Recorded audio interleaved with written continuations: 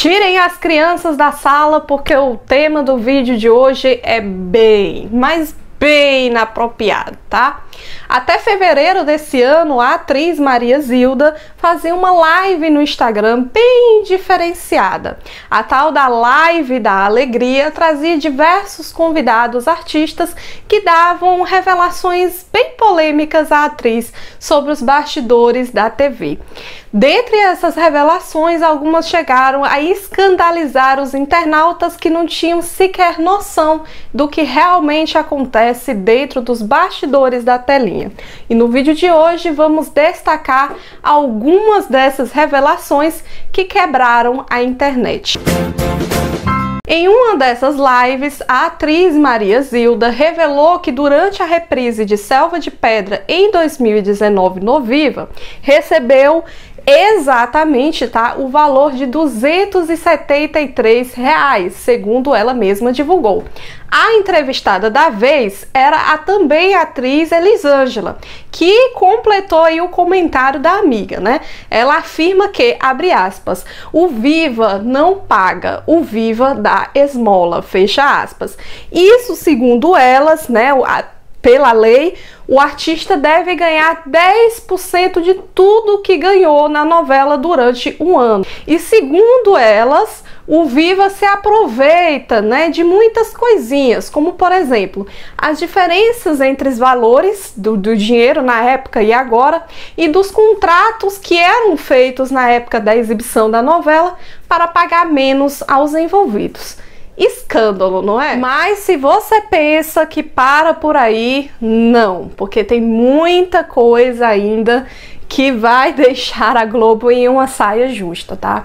Ela, em outra edição da Live da Alegria, revelou algo ainda mais polêmico e bombástico sobre a Globo. Segundo ela, a emissora manteria algo que ela chama de esquema maravilhoso ou fraudulento, segundo próprias palavras dela, tá? Para a venda de novelas no exterior, onde esta, né, a Globo, tinha uma empresa na América Central que servia para intermediar a venda desses produtos feitos pela emissora e assim poder vender aí para outros países. Então essa empresa ela fazia um esquema para vender mais caro e repassar valores menores para o elenco que estava ali presente na obra. Abre aspas.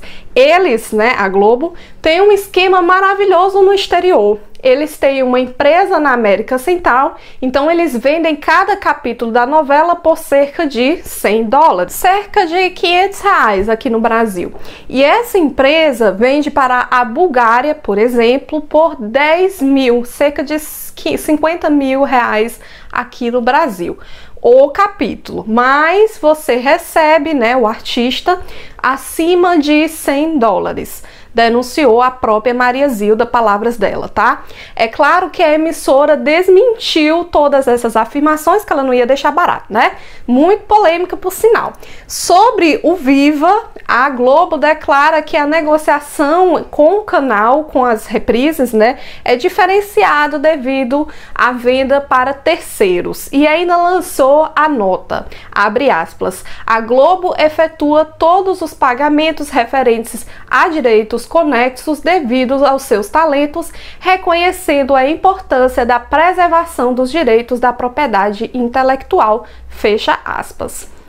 Em outra ocasião, a atriz Maria Zilda contou em uma conversa que teve com o Ari Fontoura, né, há muito tempo atrás, e ela resgatou na live da Alegria essa conversa que eles tiveram quando eles estavam gravando a novela Nina, isso lá em 1977. Segundo a atriz, o colega revelou que era abre aspas, viado, fecha aspas, né? Algo que há muito tempo, né? Havia assim aquelas fofocas, né, de plantão aí do, no meio do, das celebridades, né? Mas ela revela que, abre aspas, um dia a gente foi para a sala de atores para passar o texto. A gente passando o texto lá, ele olhou para mim e disse: eu sou viado. Antes de que digam para você, digo eu, eu sou viado. Foi a coisa mais incrível que eu já ouvi na minha vida, fecha aspas. Então as pessoas meio que se, se pra quê, né? Pra quê? Qual é a serventia disso pra nossa vida? Pessoas ligadas ao ator Ari Fontoura declarar a Hora da Venenosa da Record que a Maria Zilda poderia ter, né, outros assuntos nas lives dela e que por isso, né, ela só podia estar sem assunto mesmo, porque estava querendo falar sobre esse assunto que era tão privado, né, que talvez ele nem quisesse aí que estivesse vindo à tona. É, mas algo mais embaraçoso ainda viria pela frente.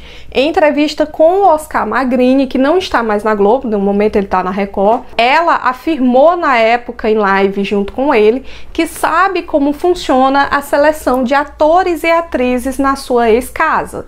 Abre aspas. Meu amor, mas eles acham que não dá ibope? Dá ibope que tem like no YouTube, quem tem o grande e quem dá o para o diretor. Fecha aspas. O ator aproveitou para contar também, né, que lá Globo também havia o abre aspas quartinho do pó, fecha aspas. Segundo ele mesmo, né, que no início da carreira contou à atriz, a, a Cleide Acones, o desejo de ser ator. Então a atriz na, diz para ele na época, né, você cheira? Não. Você dá o? Não. Então você não vai entrar. Isso, né, ele dizendo que ficou espantado na época porque a atriz já era uma senhora. Vai acreditar se realmente é verdade, né? Mas o que espantou, espantou todo mundo com certeza, né? Em outro momento, ela falou sobre os bastidores da novela Bebê a Bordo de 1988, pela qual ela foi uma das grandes estrelas. Ela disse que contracenar na época com o ator José de Abreu foi insuportável. Isso porque ele tinha bafo. Abre aspas. Era uma coisa insuportável. Ele estava em uma fase muito doida, bebia demais, obrigava o contra-regra a dar cachaça na boca dele, fecha aspas, declarou a atriz em uma dessas lives. A Maria Zilda não parou por aí. Diz que a colega, né, a Maite Proença, só fazia lives pagas. Abre aspas. Acho muito difícil porque a Maite gosta muito de dinheiro. Inclusive, ela só faz lives se pagarem, declarou, surpreendendo a própria Carolina, né, que estava participando da entrevista. Abre aspas. Não estou criticando nem julgando, ela tem o um direito. Cada um faz o que gosta na sua vida. Esse é um direito que ninguém pode te tirar. Fecha aspas, explicou em seguida. Mas a Maite Proença, sabendo disso, obviamente que não deixou barato, né? Ela respondeu com um questionamento, abre aspas. Ela tem feito algo construtivo ou apenas difamando a vida de quem sempre a ajudou? Fecha aspas. E aí fica a reflexão, né? Inclusive você que está assistindo esse vídeo vai dizer aí o que, é que você acha dessa história toda, né? Vai comentar aí nos comentários, vai dizer aí o que se você assistiu alguma dessas lives, se se surpreendeu com alguma revelação, se você acredita nelas, né? Comenta tudo aí nos comentários, certo? Também não deixe de dar o seu like nesse vídeo, se inscrever no canal, divulgar para outras pessoas no WhatsApp e nas outras redes sociais você vai estar me ajudando a chegar mais longe, tá? Também convido você para visitar o nosso Instagram, o nosso Facebook o nosso Twitter para estar sempre bem informado de tudo de novo que acontece por aqui. Grande beijo, até a próxima, tchau!